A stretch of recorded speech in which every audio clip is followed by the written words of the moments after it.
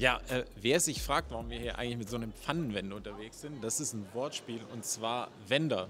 Pfannenwender wie das Wendermodell. Deswegen laufen wir hier mit einem Pfannenwender und einem Mikrohalter rum und interviewen auch einfach mal Leute so ganz random. Entschuldigung, darf ich dich für YouTube fragen? Na, wie ist dein Fazit für diese Veranstaltung? Uh, ich bin ein Toolanbieter. Ja, ja. ja. Deswegen hast du kein Fazit zu der Veranstaltung? nee, nee, okay, okay, alles klar. Also, der, der gute Raphael ist leider beschäftigt. Dann versuchen wir mal nochmal äh, weitere Teilnehmer zu finden. Entschuldigung, darf ich dich für YouTube nach dem Fazit zu der Veranstaltung fragen? Mal ganz allgemein gefragt, würdest du sagen, die Veranstaltung hat sich für dich gelohnt? Ja, absolut. Also die, das Smalltalk mit den Teilnehmern hier ist für mich immer sehr, sehr wichtig. Ich lerne daraus sehr, sehr viel. Also das ist das Entscheidende für uns. Äh, die Vorträge sind natürlich super, aber das Entscheidende ist für mich wirklich dieser Smalltalk mit den äh, Teilnehmern hier. Ja. Äh, dein wievielter ASK ist das? Der fünfte. Oh wow, der fünfte schon. Dann gehörst du ja praktisch schon zu den äh, ja, Veteranen hier ja, sozusagen. Gut, ja, äh, letzten, das letzte Mal war, glaube ich, vor drei oder vier Jahren gewesen. Aber jetzt fand ich es wieder richtig spannend. Also ein Kollege ist auch mit, Head of E-Commerce aus unserem Haus und der fand es auch äh, super klasse. Also wir nehmen was mit und können gleich auf der Zugfahrt noch viel darüber sprechen. Ja, das ist ein sehr schönes Fazit. Also würdest du ganz grundsätzlich sagen, du kannst die Veranstaltung empfehlen? Absolut, absolut. Wir sind nächstes Jahr wieder dabei. Super, vielen Dank. Gerne. Ich schreibe auch einen Newsletter zweimal im Monat rund um die Themen Digital Marketing und E-Commerce. Der ist ganz einfach zu abonnieren unter plec.de slash newsletter. Jetzt eintragen. Ja, hallo Christian. Du bist ja auch schon ein ASK-Veteran. Ich glaube, bei dir ist Nummer 11, wenn 12. ich 12. Du bist einer der wenigen, die 12 mitgemacht haben also praktisch vom ersten Mal dabei. Äh, was mich interessieren würde, jetzt haben wir zwölf Iterationen vom ASK. Wie haben sich denn die Themen vom ersten zum heutigen verändert? Äh, tatsächlich gar nicht. Äh, nur die, die Performance der jeweiligen Vortragenden ändern sich. Okay. Also wenn wir früher über, über Listing-Qualität und Ähnlichem gesprochen haben, da waren die Beispiele sehr weit im unteren Bereich und äh, heute kommen die Vortragenden einfach mit viel qualitativeren Beispielen um die Ecke.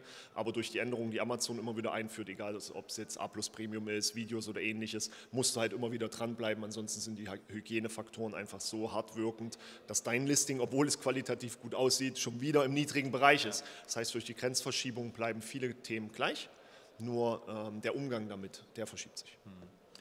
Ja, Amazon hält uns ja sozusagen mit diesen Maßnahmen immer busy und deswegen machen ja auch solche Formate wie der ASK absolut Sinn für den Austausch. Wie siehst du denn ähm, oder wie bewertest du denn die obere Spitze derjenigen, die sich in der Zwischenzeit, ich sag mal im deutschen Mittelstand oder deutsche Marken, wie hat sich das verändert? Ähm, also wir haben eine höhere Selbstreflexion. Äh, früher waren ja im Schwerpunkt nur die, die umsetzenden Mitarbeiter hier. Ähm, die dann versucht haben, ihr Tagesgeschäft in den Griff zu bekommen. Mittlerweile sind aber auch deren Chefs, Teamverantwortlichen oder die ganz oben, äh, die hohen Entscheider mit dabei, weil einfach die ähm, Relas oh Gott, Realisation da ist, dass du ohne Amazon oder mit einer falschen Amazon-Strategie mehr Schaden anrichtest und die Ignoranz gegenüber Amazon also wirklich schadhafte Wirkung hat statt einer positiven Wirkung. Wir schützen den stationären Handel. Ähm, das funktioniert nicht mehr. Das haben wir jetzt immer wieder dabei. Ähm, das heißt, da hat man einen, starken Switch hin, ähm, dass da wirklich eine Änderung ist von dieser Wahrnehmung. Ey, wir machen es falsch, wir müssen es ändern und dann sind hier natürlich die besten Netzwerkeffekte. Mhm. Ja, ähm, sehe ich ganz ähnlich. Die, Wichtigkeit des Kanals Amazon. Man sieht es an den Teilnehmern äh, und an den Marken auch, die hier sind. Nichtsdestotrotz sind, glaube ich, noch relativ viele Key Account Manager oder Markenverantwortliche ein bisschen zurückhaltend, was den, was den Kongress betrifft. Was ist denn, was würdest du denn als Argument mitgeben, warum es sich lohnt, zum ASK zu kommen? Ähm, na, erstens ist es keine Dienstleisterveranstaltung. Ja, ähm, das heißt, hier wird nicht im Schwerpunkt auf äh, Sales Pitches gedrungen, sondern die meisten der Speaker sind ehemalige Teilnehmer. ja, oder die Marken, die gerade vor denselben Problemen stehen. Und ob das Problem jetzt ein 16 Milliarden Problem ist oder ein eine Million Umsatzproblem, das Problem ist dasselbe. Bildmanagement, Content Management, Advertising Management, Chargeback Fees. Ja, ob ich jetzt 100 Euro zurückhaben will über einen guten Prozess oder eine Million zurückhaben will über einen guten Prozess, der Prozess ist derselbe. Ähm, und dadurch ist es völlig egal, ob du klein oder groß bist. Aber hier kriegst du die Informationen von den Leuten, die das tagtäglich umsetzen ähm, und nicht diese normale Situation, ja, wir wollen dir das hier schönreden oder jenes. Und deswegen sind auch so viele Anwender da oder die Chefs, um dann zu wissen, das muss ich meinem Team delegieren, weil das funktioniert. Ja. Als alter Amazon-Veteran hast du ja schon viel gesehen, viel gelernt. Aber gibt es noch etwas, was du auf diesem Kongress für dich mitgenommen hast, was für dich vielleicht neu war? Ähm, ja, wir haben äh, überragende äh, Erstteilnehmeranzahl. Das war jetzt über, über 30 Prozent. Ähm, das heißt, das Thema kommt in immer mehr Branchen und Bereichen immer noch als neu rein. Und wenn man dann überlegt, wir machen das jetzt schon über sechs Jahre, das ist kurios. Also das heißt, die Durchdringung ist nicht da, das heißt, die Relevanz für diese Veranstaltung ist immer noch hoch da. Und was wir mittlerweile sehen, was wirklich überragend ist, dass wirklich ehemalige Teilnehmer, die so im Schnitt fünf bis sieben Mal da sind, mittlerweile Teams, Teamleads sind. Ähm, das heißt, die Qualität, der Teamaufbau, die Wahrnehmung in den Unternehmen, die steigt immer noch so immens und die schicken dann ihre Mitarbeiter plötzlich her. Ja, wo sie früher noch selber machen mussten, wissen sie einfach, hier kann ich jemanden hinschicken. Ähm, und was wirklich überraschend ist, ist, mit was für Lösungsansätzen einige um die Ecke kommen um, ich sag mal, diese, ich will jetzt nicht sagen Straferwartungshaltung und Amazon ein bisschen ausmanövrieren oder Amazon gegen sich selber äh, äh, auszuspielen, das ist schon sehr clever, weil die äh, Vertriebssituation, die Logistiksituation bei den meisten Vendoren endlich klar geworden ist. Hybrid war eine Übergangslösung, ist nicht die Lösung für viele. Ja? Und dann werden neue Lösungen, andere Lösungen etabliert. Und da kommen hier immer mehr äh, mit Ideen um die Ecke, wo man einfach nur sagt, okay, darauf wäre ich nicht gekommen ja, äh, virtuelle Bundles einfach massiv auszurollen im Amazon-Kanal und daraus einfach ein, ein Standbein zu entwickeln.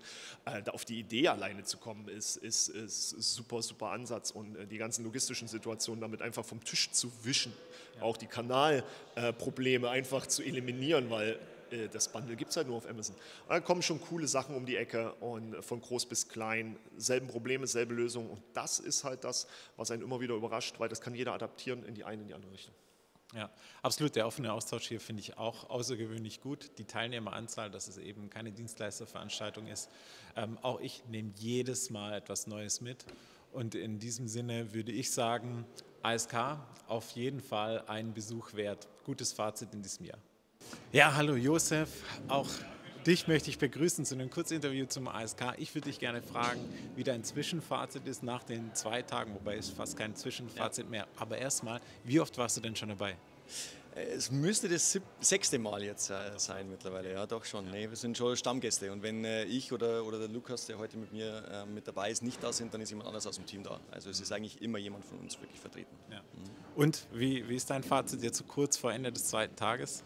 Wirklich richtig gut. Also ich hatte jetzt beim Mittagessen noch mal einige Gespräche. Ähm, äh, ich glaube, speakertechnisch war es selten so gut wie dieses Jahr. Also dein Vortrag war super, äh, wirklich, aber genauso auch von Gardena ähm, oder was wir sonst, was wir gehört hatten. Von Edding vorher zum Beispiel natürlich wieder super, äh, mega gut präsentiert und so. Und das nee, macht Spaß, wirklich sehr, sehr gut. Ja. Und bei euch gab es ja auch wieder eine Besonderheit. Ihr wart letztes Jahr ja. einer der ersten ASK Awards Gewinner und auch dieses Jahr wieder ausgezeichnet worden. Genau. In welcher Kategorie habt ihr denn den Award dieses Jahr mitgenommen? Ja, wieder für den besten Markenauftritt. Äh, wir sind wirklich super stolz darüber. Ähm, es war natürlich witzig, weil ich die eigene Laudation dafür äh, erhalten durfte ja, und nicht wusste, äh, dass ja. wir aber Gewinner sind. Nee, wir sind wahnsinnig stolz darüber. Ähm, wirklich, genau, vielen Dank auch nochmal an die Jury in der Runde. Und nee, wirklich cool, sehr, sehr cool.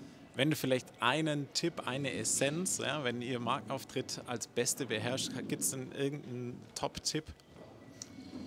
Das Hauptthema, äh, ich hatte es gestern auch in meinem Vortrag, ähm, ich glaube, man muss wirklich versuchen, Amazon zu verstehen, wie Amazon tickt und welche Möglichkeiten Amazon bietet und diese versuchen zu nutzen. Und es ist eben so, Amazon ist meist komplett anders als alle anderen. und das musst du einfach verinnerlichen, verstehen und das eben versuchen dann zu nutzen. Genau. Und was Brandshop angeht, was genauso aber die, die DSP oder sonstigen Möglichkeiten angeht und dort versuchen, äh, deine Story wirklich durchzuerzählen. Genau. aber selbstverständlich Hauptthema, ganz klar, ist das Thema Content auf der Artikeldetailseite. Mhm. Bin überzeugt davon, du kannst noch so schöne Banner und sonst irgendwas irgendwie machen. Mm, äh, Conversion zählt und, und, und da, da, da, da hat die Marke den meisten Traffic und dort gilt es gut unterwegs zu sein. Ja. Wer sich von den Zuhörern mal anschauen will, was er damit meint, einfach mal ein Hell bei Amazon suchen, dann bekommt man einen sehr schönen Eindruck davon, was gemeint ist. Vielleicht abschließende Frage noch, was ist aus deiner Sicht eines der wichtigsten oder das wichtigste Thema 2023 in der Zusammenarbeit mit Amazon? In der Zusammenarbeit, äh, würde ich gar nicht sagen in der Zusammenarbeit, sondern unser Fokus definitiv Conversion-Optimierung. Ähm, das ist ein sehr wichtiges Thema. Es ist aber auch äh, teilweise wieder schwierig, an welchen Parametern machst du es genau. Klar, an der Conversion machst du es fest, aber wie, wie willst du es tracken, wie willst du es messen, wie willst du, genau, wie willst du die Optimierung äh, messen? Da sind die Methoden leider beschränkt oder die Möglichkeiten beschränkt, eingeschränkt. Ähm, aber definitiv für uns gilt es, äh, noch besser zu werden im Content und genau, Conversion-Optimierung ist für uns absoluter Fokus. Danke dir. Ja. Wir nehmen uns nicht immer so ernst, deswegen sind wir auch auf TikTok phil.plc. Let's go. Also ich habe den Michael von Gardena bei mir, dem ich jetzt gleich meinen Pfannenwender, ja, das Wortspiel Wender, ähm, unter die Nase halten werde. Ähm, Michael, dein wievielter ASK ist denn das jetzt bereits? Das ist mein vierter Amazon Self-Kongress und dieses Jahr aber auch das erste Mal als Speaker. Erstmal Speaker. Ja, dein Vortrag, muss ich sagen, war sehr gut, hat auch mich inspiriert, hat mir was mitgegeben. Was ich besonders gut fand an deinem Vortrag ist, erstens hast du gesagt, Build on the Basics, ja, Oldies but Goldies, die Basics sind einfach wichtig. Und zweitens aber auch, du hast herausgestellt, wie wichtig es ist, auch Change Management zu machen. Und damit hast du eigentlich eine Rolle eingenommen, die wir hier nicht so häufig gesehen haben, über das nicht so häufig gesprochen wird. Aber vielleicht nochmal darauf einzugehen, was sind denn deine Highlights? Ich habe es gesagt, das war auf jeden Fall ein Highlight von mir. Was waren denn deine Highlights, die du von dem Kongress mitgenommen hast? Ich fand tatsächlich den Vortrag von Martin Holpe sehr gut, der nochmal auf die Verhandlungsstrategien von Amazon eingegangen ist. Der hat natürlich aufgrund seiner Erfahrungen als Vendor-Manager da natürlich eine Menge zu erzählen. Das war sehr äh, beeindruckend. Auch der Kollege Marc äh, von der Firma Edding hat einen tollen Vortrag zum externen Traffic, wie man den messen kann und was für, für Hintergründe es braucht und was für Benefits man dadurch generieren kann. Den fand ich ebenfalls sehr, sehr gut. Ja, und du hattest ja sogar die Ehre, am ersten Tag zweimal auf der Bühne zu stehen, denn du durftest eine Laudatio halten. Da muss ich auch nochmal sagen, das ist dir sehr gut gelungen. Man kann kaum glauben, dass du eigentlich nicht öfter auf der Bühne stehst. Ne? Das scheint dir angeboten zu sein. Aber du hast die Laudatio, aus, aus welchem Grund hast du die nochmal halten dürfen? Ich habe die tatsächlich deshalb gehalten dürfen, weil wir letztes Jahr den gleichen Preis gewonnen haben, nämlich für das beste Listing. Da war ich sehr, sehr froh. Das hat viel Arbeit gekostet. Auch nochmal ein großes Dank an mein Team, die das nämlich erst überhaupt möglich gemacht haben. Und ich freue mich vor allem für den jetzigen Preisträger, nämlich die Firma Viha, die das dann ebenfalls toll umgesetzt hat. Okay. Also du würdest sagen, unterm Strich vollkommen gelungener Kongress und du bist beim nächsten wieder dabei oder was ist dein Fazit? Das ist auf jeden Fall mein Fazit. Der Austausch hier auf diesem Kongress ist eigentlich durch fast nichts zu ersetzen. Du triffst unglaublich viele Experten, Leute, die wirklich auch wissen, wovon sie sprechen, aber eben auch viele neue Leute, die du mit inspirieren kannst für das Thema. Und das kannst du hier auf dem Amazon-Kongress super, super umsetzen. Also Michael, abschließende Frage noch. Was ist denn dein Fokusthema für die nächsten zwölf Monate in der Zusammenarbeit mit Amazon?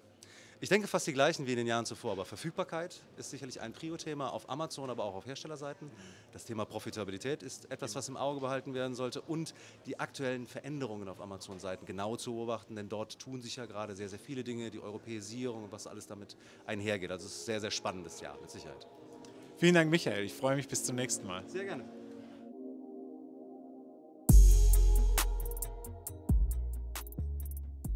Vielen Dank fürs Zuschauen. Ihr wisst, unten einen Kommentar da lassen, wenn ihr Themenvorschläge und Fragen rund um Amazon und Vendor Central habt. Und ansonsten, wenn ihr uns einen Gefallen tun wollt, dann Daumen hoch, auch kommentieren und natürlich abonnieren. Bis bald.